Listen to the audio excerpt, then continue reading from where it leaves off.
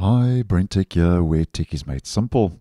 So, most websites these days give you the option to be able to switch between a light and a dark scheme.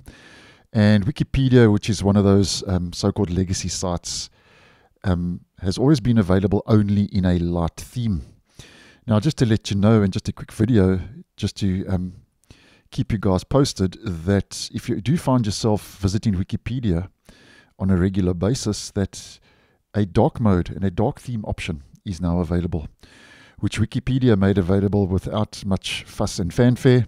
And I did notice it today when visiting the site, so I just wanted to put it out there if you would be interested. And my reason for mentioning Wikipedia and this change is because it is a landing page um, that I use quite frequently on the channel to um, show you browser features and so on. So I thought you may be interested. Now, how you make this all happen is you visit the appearance toggle and menu here to the top right. Click on that and you'll see now color, which is still in beta, but nonetheless it is working. So you have light, dark, and automatic. So if you pop that onto dark, there we go, much better on the R's. And I think that's a nice step, as I would always say, in the right direction. So you can see it's a lot easier on the R's and has been a very long time coming dark mode now available.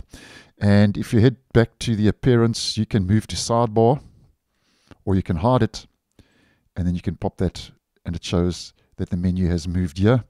And you can pop that back to light or you can even set that to automatic to your your system's default theme which I always have on dark so there we go. So just putting it out there.